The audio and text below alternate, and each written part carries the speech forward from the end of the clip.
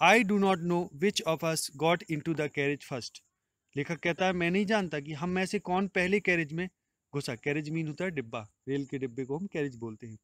Indeed दरअसल I I did not know he was in the carriage at all for some times अब लेखक कहता है, वास्तव में ये भी नहीं जानता था कि कि वो कुछ समय से पहले से भी वहाँ कैरेज में था। It was the last train from London to a midland town ये अब लेखक जिस ट्रेन से यात्रा कर रहे हैं, वो लास्ट ट्रेन होती है। लंदन से लेके मिड टाउन के बीच जो, लंदन से मिड टाउन मिडलैंड की ओर चलती है। मिडलैंड टाउन की ओर। तो इट इज़ अब है तो it was last train from London to a midland town a stopping train कि वास्तव में ये जो ट्रेन है, वो एक स्टॉपिंग ट्रेन है जगह जगह रुकने वाली। And in infinitely leisurely train infinitely मतलब एक अनिश्चित रूप से फुर्सत वाली ट्रेन है। कहने का मतलब है लेखक का कि बहुत धीरे धीरे चलती है, हर जगह रुकती है। One of those train which give you an understanding of eternity कि उन ट्रेनों में से एक ट्रेन है जो आपको अनंतता का एहसास कराती है। अनंतता का एहसास कराने का अर्थ है कि इतना स्लो चलना कि लगे कि अभी यात्रा बहुत है, अभी बहुत है। तो आगे it was tolerably full when it started कि जब ये चलती है तो उस समय तो टॉलरेवली मतलब जितना भर सके, सहनीय रूप से जितना सहन किया जाके जितनी भीड़, उतनी भीड़ वहाँ ट्रेन में होती है उस समय, जब ये चलती है। But as we stop at the suburban station the traveller alighted in one and twos लेकिन लेखक कहता है, जैसे ही हम हर एक स्टेशन पर रुकते हैं, जो सब अर्बन स्टेशन का मतलब होता है, जो स्टेशन होती हैं, जो उपनगरीय स्टेशन यानी एक काफ़ी लंबे रूट में छोटी छोटी स्टेशनें होती हैं, उनको सब अर्बन स्टेशन बोलते हैं। तो वहाँ ट्रेन हर एक स्टेशन पर जब रुकती है तो the travellers alight in ones and twos. तो एक एक दो दो करके जो यात्री होते हैं, वो उतरते हैं ट्रेन से। And by the time we had left the outer ring of London behind. और उस समय तक लेखक कहता है कि हम जब सर्वर सबर अर्बन स्टेशन ख़त्म हुई तो उसके बाद आउटर रिंग जो होती है, आउटर रिंग कहने का इधर अर्थ है कि जो लंदन का जो बाहरी क्षेत्र है जो रिंग है पूरे लंदन को जो घिरे हुए है रिंग कहने का अर्थ है जो ए, सीमा क्षेत्र है। जब जैसी उसके ए, ए, पार निकलते हैं तो आई वॉज़ अलोन तो लेखक कहता है मैं अकेला रह जाता हूँ। और rather I thought I was alone और अपेक्षाकृत मैं ये भी सोचा मैंने कि मैं अकेला हूँ ट्रेन में। लेखक यहाँ ये कहना चाह रहा है कि वो अकेला बचता है पूरी ट्रेन में। तो there is a pleasant sense of freedom about being alone in a carriage that is jolting noisily through the night अब लेखक कहता है कि there is a pleasant sense of freedom कि बड़ा सुहावना अनुभव है स्वतंत्र होने का। About being alone in a carriage कि डब्बे में अकेले होना एक अपने आप में एक स्वतंत्रता का सुहावना अनुभव है। दैट इज़ जॉल्टिंग यानी उस डब्बे में जो झटके ले रहा हो। नॉइजली आवाज़ कर कर थ्रू द नाइट पूरी रात झटके, आवाज़ ले लेकर चल रहा हो। It is liberty and unrestraint in a very agreeable form बड़ी अनरेस्टेंट मीन बड़ी आराम की अवस्था और लिबर्टी एक स्वतंत्रता की अवस्था होती है, एक स्वीकार्य रूप में। तो you can do anything you like अब लेखक कहता है कि चूँकि ट्रेन में वो अकेला है ट्रेन में अकेला होना एक अच्छे अनुभव का, अनुभव की चीज़ है, और जब हम अकेले होते हैं, बड़े आराम में होते हैं तो लेखक कहता है you can do anything you like आप वो प्रत्येक चीज़ कर सकते हैं जो आप चाहें। You can talk to yourself as loud as you please आप अपने आप से बात कर सकते हैं जितना तेज़ आप चाहें। आपको लगे। And no one will hear you कोई भी आपको सुन नहीं सकता, क्योंकि आप अकेले हैं वहाँ। तो you can have that argument out with Jones and roll him triumphantly in the dust without fear of a counter stroke अब लेखक कहता है you can have the argument out with Jones एक जोन एक इमेजिनरी पर्सन है। लेखक, शायद लेखक एक किसी इमेजिनरी पर्सन एक काल्पनिक व्यक्ति को यहाँ लेता है कि आप जोन के साथ बहस भी कर सकते और उसको रोल भी कर सकते, यानी पटक भी सकते, विजयपूर्वक, धूल में, यानी उसको धूल भी चटा सकते without fear of a counter stroke कि बिना किसी भय के, कि वो बदले में प्रहार करेगा। You can stand on your head and no one will see you आप अपने सिर के बल खड़े हो सकते हैं, कोई भी आपको नहीं देख पाएगा। यू कैन सिंग और डांस आ टू स्टेप आप गा सकते हैं, एक दो स्टेप आप डांस भी कर सकते हैं और प्रैक्टिस ऑफ़ गोल्फ स्ट्रोक और गोल्फ स्ट्रोक की प्रैक्टिस भी कर सकते हैं और play marbles on the floor या फिर फर्श पर आप कंचे भी खेल सकते हैं। विदाउट लेट और हिंड्रेंस, बिना किसी की रुकावट या बाधा की, हिंड्रेंस मीन बाधा। You can open the window और shut it without provoking a protest लो आप खिड़की को खोल सकते हैं, बंद कर सकते हैं विदाउट प्रोवोकिंग प्रोवोक मीन होता है भड़काना। बिना कोई प्रोटेस्ट मीन होता है विरोध। बिना किसी विरोध को भड़काए हुए आप मतलब कोई आपका विरोध भी नहीं करेगा, आप खिड़की को बंद कर सकते हैं और खोल सकते हैं। You can you can open both windows और सट बोथ आप दोनों खिड़कियों को खोल सकते हैं, बंद कर सकते indeed you can go on opening them and shutting them at as a sort of festival of freedom लो। यहाँ तक कि वास्तव में आप ये भी कर सकते कि दोनों खिड़कियों को खोलने और बंद ऐसे खोलें और बंद करें जैसे कोई एक त्यौहार मना रहे हो स्वतंत्रता का, एक प्रकार का। ठीक? You can have an you can have any corner you choose आप किसी भी कोने में जाके बैठ सकते हैं या आप कोई भी कॉर्नर चुन सकते हैं। And try all of them in turn या एक एक करके हर एक को ट्राई कर सकते हैं। You can lie at full length on the cushions अब जो कजन्स होता है ट्रेन में जो सीटें होती हैं, उनको कजन्स बोलते हैं। आप कजन्स में फुल लेंथ में लेट भी सकते and enjoy the luxury of breaking the regulations and possibly the heart of Dora her लो। अब यहाँ लेखक कह रहा है कि आप enjoy the luxury of breaking the regulation कि आप उस विलासिता का भी अनुभव कर सकते हैं, यानी जो रेगुलेशन है, जो नियम कानून है, possibly the heart of Dora. Dora का मतलब है डिफेंस ऑफ़ रियल एक्ट, यानी क्षेत्रीय क्षेत्रीय सीमा सुरक्षा अधिनियम अधिनियम है। क्षेत्रीय डिफेंस ऑफ़ रियल एक्ट, यानी क्षेत्रीय सीमा अधिनियम, उसका भी आप हर्ट तोड़ सकते हैं। यानी कहने का अर्थ है, जहाँ लेखक, जिस देश का निवासी है वहाँ डोरा नाम का एक एक्ट चलता है, एक अधिनियम चलता है, डिफेंस ऑफ़ रियल एक्ट, उसको भी तोड़ सकते हैं। यानी उसके रूल्स एंड रेगुलेशन को तोड़ने की, का आनंद ले सकते हैं। Only Dora will not know that her heart is broken यहाँ तक कि डोरा भी केवल ये नहीं जान पाएगी कि उसके हर्ट को तोड़ा जा रहा है, उसके नियमों को तोड़ा जाता है। You have escaped even Dora आप और उससे बच भी सकते हैं, बच भी सके हैं। आगे देखें on this night I did not do any of these things अब लेखक कह रहा है, हालाँकि हम अकेले होने पर ट्रेन में कुछ भी कर सकते, जो हम चाहें। लेकिन लेखक कहता है कि मैंने on this night I did not do any of these things लेखक कहता है इस उस रात लेकिन मैंने कुछ भी वहाँ ऐसा कुछ भी नहीं किया जो मैंने अभी कहा। They did not happen to occur to me और ना ही ऐसी कोई घटनाएँ मेरे साथ हुई। वॉट आई डिड अब जो कुछ मैंने किया वाच मच मोर ऑर्डिनरी वो बहुत साधारण था जो मैंने किया। When the last of my fellow passenger had gone जब मेरा लास्ट सहयात्री निकल गया मतलब ट्रेन से उतर गया तो I put down my paper मैंने अपना पेपर नीचे रखा state my arms and my legs मैंने अपने हाथ और पैर फैलाए स्टूड अप खड़ा हो गया and looked out of the window on the calm summer night उस गर्मियों की ठंडी रात्रि में मैंने खिड़की से झांका बाहर लुकआउट किया through which I was journeying उस खिड़की से जहाँ मैं यात्रा कर रहा था। Noting the pale pale reminiscence of day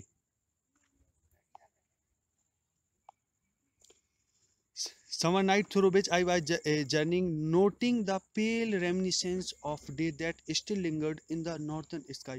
अब लेखक कहता है मैंने जब खिड़की से बाहर देखा तो नोटिंग नोट करते हुए मैंने ध्यान किया द पेल रेमनीसेंस यानी धुंधली होती पेल मतलब होता है हल्का पीला जो हल्की पीली जो यादें थी रेमनीसेंस थी दिन भर की यादें थी जो that still lingered in the northern sky अब लेखक ये सोच रहा है कि मैंने खिड़की के बाहर उत्तरी आकाश में झांका जो दिन भर की यादें थी, वो मुझे उस आकाश में दिखाई दी, उनकी झलक मिली।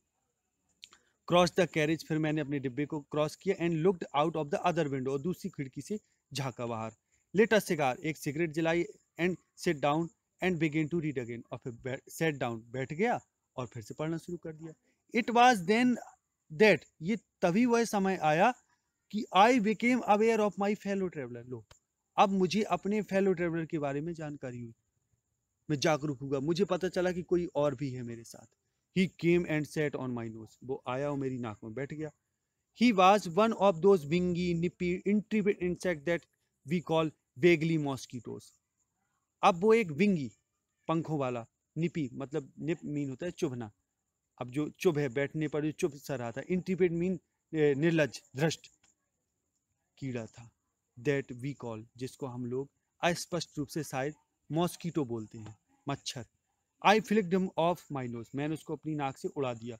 And he made a tour of the compartment उसने पूरे डिब्बे का एक टूर लगाया and investigated it investigated its three dimension उसने तीन डायमेंशन में इन्वेस्टिगेट किया पूरे कंपार्टमेंट को। तीन डायमेंशन मतलब का मतलब आगे, पीछे और ऊपर, नीचे। ऊपर। इसके बाद विजिटेड ईच विंडो प्रत्येक विंडो पे घुमा। Flutter down the light light के चारों ओर फ्लटर हुआ, यानी उसने वो फड़फड़ाया। Decided that there was nothing so interesting as that large animal in the corner और उसने फाइनली ये डिसाइडेड किया कि कोई भी चीज़ अब इंटरेस्टिंग इतनी नहीं थी जितना वो large animal in the corner यानी कोने में बैठा हुआ विशाल जानवर। अब विशाल जानवर इधर लेखक ने स्वयं को कहा है कि मच्छर के लिए वो स्वयं को अपने आप को जानवर कहते हैं। कहते हैं कि वो सब जगह उसने घुमाया पूरे लाइट के चारों फड़फड़ा लिया, हर एक विंडो में चला गया और अंत में उसको यही लगा कि अब कोई भी इंटरेस्टिंग चीज़ नहीं है, सिवाय इस व्यक्ति को छोड़कर। तो फिर आगे वो आया and had a look at my neck और आकर उसने लेखक की गर्दन में थोड़ी लुक यानी नज़र डाली। I flicked him off again मैंने फिर उसको उड़ा दिया, लेखक बोलता है ही स्किप्ड अवे वो बच निकला। Took another jaunt round the compartment. फिर एक दूसरा राउंड लगाया उसने कंपार्टमेंट का। रिटर्न लौटा and seated himself impudently on the on the back of my head और अपने आप को उसने बैठा दिया, यानी बैठ गया। बड़ी निर्लज निर्लजता पूर्वक मेरे हाथ के पिछवाड़े में बैठ गया। It is enough I said मैंने कहा, अब तो हद हो गई। मैग्नेनिमिटी हैज़ इट्स लिमिट कि दयालुता की भी हद होती है, उदारता की भी कोई हद होती है। Twice you have been warned तुमको दो बार वॉर्न किया गया and I am someone in particular make और ये मैंने कहा मतलब लेखक ये कहने की कोशिश कर रहा है मच्छर से कि हद हो गई, उदारता की भी एक लिमिट होती है। तुमको दो बार वॉर्न किया गया। Twice you have been warned that I am someone in particular और मैंने कहा कि मैं कुछ विशेष हूँ, अपने आप में सम्मान कोई विशेष व्यक्ति हूँ that my august person resent the tickly impertinence of stranger कि अगर कोई व्यक्ति मुझे थोड़ा सा भी परेशान करे तो मेरी ये ए, ए, मतलब मेरी शान को इसमें वो होता है अपमान समझता हूँ मैं इसका रिसेंट अपमान समझता हूँ। तो I assume the black cap अब लेखक कहता है मैंने ब्लैक कैप अज्यूम की। लेखक अब स्वयं को एक जज मान लेता है। ब्लैक कैप अज्यूम करने का मतलब है स्वयं को जज मान लेना। I condemn you to death लेखक कहता है मैं तुम्हें मृत्यु की सजा देता हूँ। जस्टिस डिमांड्स इट न्याय इसकी मांग करता है। And the court awards it और न्यायालय इसका सम्मान भी करता है। The counts against you are many कि तुम्हारे खिलाफ काउंट्स यानी दोष बहुत हैं। बहुत सारे तुम पर दोषारोपण है। यू आर अ बैकग्राउंड पहला दोषारोपण ये है कि तुम एक आवारा हो। फिर you are a public nuisance तुम लोगों को तंग करने वाले हो। You are a traveller without a ticket और आप एक ऐसे यात्री हो जो बिना टिकट की यात्रा कर you have no meat coupon तुम्हारे पास कोई मीट कूपन भी नहीं। मीट कूपन कहने का अर्थ है कि अब मच्छर आएगा तो खून चूसेगा। तो लेखक कहता है, तुम्हारे पास कोई मीट कूपन भी नहीं for these and many other dis many other misdemeanours और भी अन्य अपराधों के लिए, और भी अन्य गलतियों के लिए। इनके लिए और भी अन्य कई गलतियों के लिए you are about to die अब तुम लगभग मरने वाले हो। I struck a swift lethal willow with my right hand अब लेखक कहता है, मैंने प्रहार किया।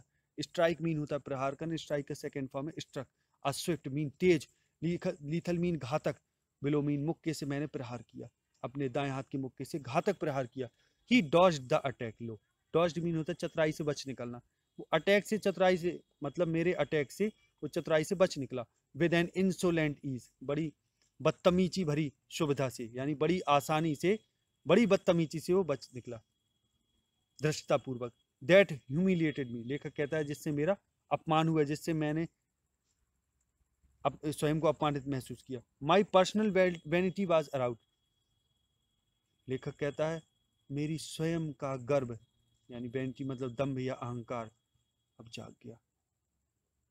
I lunged at him with my hand with my paper अब वो कह रहा है मैंने उस पर प्रहार करने की कोशिश की, अपने हाथ से, अपने पेपर से। I jumped on the seat and pursued him मैं अपनी सीट पर बैठ गया और मैंने उसका पीछा किया राउंड द लैंप लैंप के चारों ओर। परस्यू मतलब आगे बढ़ा देना उसको मतलब ऐसे। तो आई adopted tactics of phenyl Kalinga phenyl Kalinga में बिल्ली जैसी चालाकी मैंने, की चालें अपनाई। लेखक कहता है, अब मैंने उसको थोड़ा परेशान करने के लिए बिल्ली जैसी चालाकी अपनाई। Waiting till he had alighted और मैंने सोचा तब तक वेट करूँ जब तक वो उतर ना जाए, बैठ ना जाए कहीं। Approaching with a horrible stealth और बड़ी हॉरिबल बड़ी भयानक तरीके से चोरी चोरी मैं उस तक पहुँचने की कोशिश की।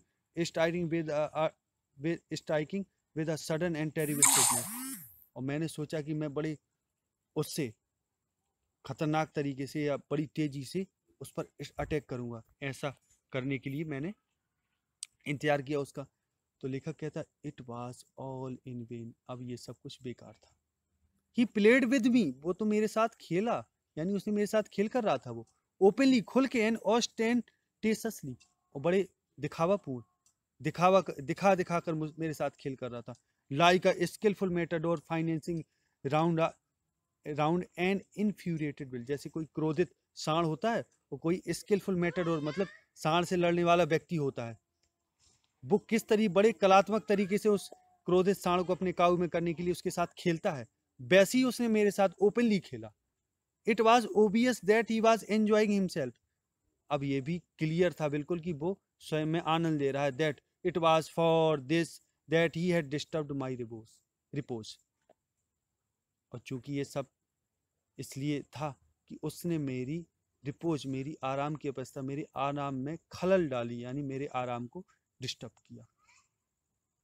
He wanted a little sport वो थोड़ा खेलना चाहता था। And what sport like being chased by this huge lum huge lumbering windmill of a creature और ऐसा खेल कि जिसमें वो चाहता था कि मैं उसको चेस करूँ। कि ये ह्यूज विशाल, भारी भरकम लंबरिंग मीन भारी भरकम। और बाइंड मिल मीन जो पवन चक्की होती है, उस जैसा। अब मच्छर के लिए तो मनुष्य एक बाइंड मिल जैसा लगेगा देखने में। तो लेकर कह रहा है, भारी भरकम बाइंड मिल जैसा कोई प्राणी मैं उसके लिए जो हूँ वो मुझसे चाहता था कि मैं उसका पीछा करूँ यानी मुझसे खेल करना चाहता था वो।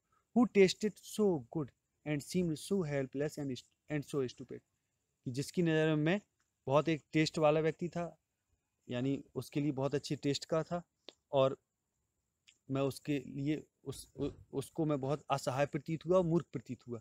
I began to enter into the spirit of the fellow अब लेखक कहता है मैंने शुरू कर दिया उसकी आत्मा में घुसना, यानी उन, उसके मन का भाव समझना शुरू कर दिया, मच्छर के मन का भाव। He was no longer a mere insect अब लेखक कहता है, मैंने समझा कि वो अब और मेरे लिए केवल एक मात्र कीड़ा नहीं है मियर मीन केवल। He was developing into a a personality कि अब मेरे लिए वो एक पर्सनैलिटी एक व्यक्तित्व व्यक्तित्व के रूप में डेवलप हो रहा है। An intelligence that challenge the position of this compartment with me on equal terms और एक ऐसे बुद्धिमान के रूप में, बौद्धिक व्यक्तित्व के रूप में कि जो चैलेंज जिसने किया अपने अधिकार को। इस कंपार्टमेंट में ये चैलेंज किया कि मेरा भी अधिकार है इक्वल टर्म्स पर, बराबर बराबर से, लेखक के साथ। तो I felt my heart warming towards him मैंने सोचा मेरा हृदय, अब उसकी, मैंने अनुभव किया कि मेरा हृदय उसके प्रति थोड़ा पिघल रहा है। And the sense of superiority fading और जो मुझमें मनुष्य जनित जो श्रेष्ठता का भाव है कि मैं मनुष्य हूँ तो श्रेष्ठ हूँ, ये भाव भी थोड़ा फेड हो रहा, मुरझा रहा, श्रेष्ठता का भाव भी। How could I feel superior to a creature who was so manifestly my master in the only competition in which we had ever engage अब लेखक कहता है how could I feel superior to a creature मैं इस प्राणी से अपने आप को कैसे सुपीरियर महसूस करूँ? जो हु वाज सो मैनिफेस्टली जो बहुत स्पष्ट रूप से माई मास्टर है, मेरा मालिक है। एक टाइप से गुरु है कि देखो तो in the only competition in which कि एकमात्र उस प्रतिस्पर्धा जिसमें वी हैड एवर एंगेज कि ऐसी प्रतिस्पर्धा कभी मैंने किसी प्राणी के साथ नहीं देखी कि जो मुझसे बराबर से अपने अधिकार की मांग कर रहा है कि मेरा भी हक है डब्बे में बराबर कंपार्टमेंट में। आगे why not be magnanimous magnanimous again अब लेखक स्वयं से कहता है, क्यों ना फिर से दयालु हो जाया जाए? पुनः magnanimity and mercy were the noblest attributes of man की दयालुता, यानी उदारता मैग्नेनिमी उदारता और दया, मर्सी। ये मनुष्य के सबसे अच्छे गुण हैं नोबलेस्ट एट्रीब्यूट्स हैं, गुण हैं। In the exercise of these high qualities अब इन हाई क्वालिटीज की एक्सरसाइज में, यानी इन उच्च गुणों की अनुपालन में I could recover my prestige मैं अपने सम्मान को पुनः पा सकता हूँ। एट प्रेजेंट वर्तमान में I was a ridiculous figure अब चूँकि वर्तमान में तो मैं उसके लिए रेडिकुलस यानी एक मजाकियापूर्ण यानी उपहास का एक व्यक्तित्व हूँ, कि उपहास वाली चीज़ हूँ, फिगर हूँ एक। A thing for laughter and derision कि एक ऐसी चीज़ जो, जिसका मज़ाक उड़ाया जाए और जिसका उपहास किया जाए डेरिजन किया जाए। बाई बींग मर्सीफुल अब लेखक कहता है कि, लेकिन दयालु होकर।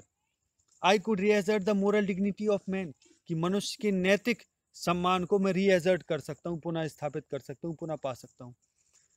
And go back to my corner with honour और मैं बड़े सम्मान के साथ कोने में जाके पुनः बैठ सकता हूँ।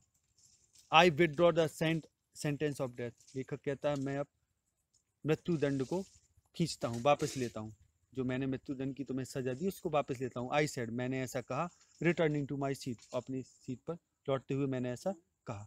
I can not kill you मैं तुम्हें नहीं मार सकता but I can reprieve you reprieve mean होता है, दंड स्थगित करना, यानी दंड को रोक देना, जो सजा दी, उसको टाल देना। But I can reprieve you I do it मैं तुम्हें क्षमा कर सकता हूँ, मैं ऐसा करता हूँ। I took my paper and he came and sat on it लेखक कहता है, मैंने अपना पेपर लिया, वो आया और उस पर बैठ गया। फूलेस्ट फैलो लेखक कहता है, मूर्ख साथी। आई सेड मैंने कहा। लेखक कहता है, मैंने कहा, मूर्ख साथी you have delivered your self into my hand hand लो तुमने अपने आप को मेरे हाथों में डिलीवर कर दिया, सौंप दिया। I have I have but to give this respectable weekly organ of opinion I smack on the both both the covers and you are a corpse लेखक कहता है, लेकिन मेरे पास तो है ये page. I have but to give this respectable weekly organ weekly organ of opinion weekly organ कहने के मतलब जो साप्ताहिक अखबार लेखक जो हाथ में लिए हैं उस सम्मानित रिस्पेक्टेबल वीकली और यानी सम्मानित साप्ताहिक अखबार के दोनों कवर का केवल एक बार उसको स्मैक यानी भींचना भरे, उसको अखबार को पटकना भरे, दोनों उसके पेजों को आपस में मिलाना भरे कि यू आर अ कॉप्स लेखक कहता है, बस मैंने ऐसा किया कि उन पन्नों को मिलाया, एकदम से एक मतलब अचानक से प्रहार किया कि तुम क्या हो जाओगे? लास्ट में बदल जाओगे. Neatly sandwich between an article on P step and another on the modesty of Mr Hughes अब वो कह रहा है, ये जो दो आर्टिकल हैं, जो दोनों पेजों में है एक इस तरफ़ वाले दोनों तरफ़ वाले पेजों में है? अखबार के दोनों पेजों में। उन आर्टिकल के बीच में तुम सैंडविच की तरह एक लाश हो जाओगे, यानी सैंडविच बन जाओगे अगर मैंने दोनों को स्मैक कर दिया। But I shall not do it लेकिन कहता है, लेखक, मैं ऐसा नहीं करूँगा। आई हैव रिप्रीव्ड यू मैं तुम्हें क्षमा कर चुका हूँ, तुम्हारी सजा को टाल चुका हूँ। I will satisfy you that मैं तुम्हें इस बात से संतुष्ट करूँगा कि वेन दिस लार्ज एनिमल यानी ये विशाल प्राणी, यानी मैं स्वयं लेखक कहता है मैं स्वयं सेज आ थिंग जब कोई बात कहता है तो इट मीन्स इसका कुछ मतलब होता है, कुछ वज़न होता है। मोर ओवर इसके अतिरिक्त I no longer desire to kill you इसके अतिरिक्त और ये भी है कि मैं, मेरी और इच्छा नहीं है तुम्हें मारने की। थ्रो नोइंग यू बेटर क्योंकि मैं तुमको बहुत अच्छे से जानकर अब जान गया। तो I have come to feel अब मुझे ये अनुभव हुआ, या मैं इस अनुभव से आया कि सेल आई से अब मैं तुमसे ये कहूँगा कि अ सॉर्ट ऑफ़ अफेक्शन अब मैं जो अनुभव है वो मैं ये कहूँगा तुमसे कि a sort of affection for you एक प्रकार का प्रेम तुम्हारे लिए है अनुभव। आई फैंसी मैं सोचता हूँ कि, यानी मैं कल्पना करता हूँ कि सेंट फ्रांसिस एक जो संत हुए हैं, ईसाइयों में सेंट फ्रां सेंट फ्रांसिस बहुत पहुँचे हुए संत हुए हैं who have called you little brother शायद उन्होंने तुम्हें who would have called you little brother शायद उन्होंने तुम्हें अपना लिखा, कहता I fancy that Saint Francis would have called you little brother कि शायद सेंट फ्रांसिस ने तुम्हें अपना छोटा भाई कहा होगा। I can not go far as that in Christian charity and civility अब चैरिटी मीन होता है उदारता या दान और सिविलिटी मीन नागरिकता। अब मैं क्रिश्चियन क्रिश्चियन लोगों की उस उदारता तक, वहाँ तक तो खैर नहीं पहुँच सकता। बट आई मतलब लेखक कहने का मतलब मैं वहाँ तक तो दया तुम पर नहीं कर सकता। But I recognise a more distant relationship लेकिन मैं मानता हूँ कि हमारे बीच में एक एक सुदूर, दूरस्थ, एक रिलेशनशिप है। Fortune had has made us fellow travellers on this summer night इस गर्मियों की रात में, भाग्य ने हमें एक दूसरे का सहयात्री बनाया है।